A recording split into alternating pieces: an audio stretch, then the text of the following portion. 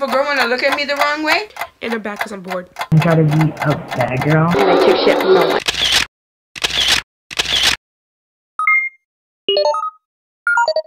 I smacked the right out her mouth.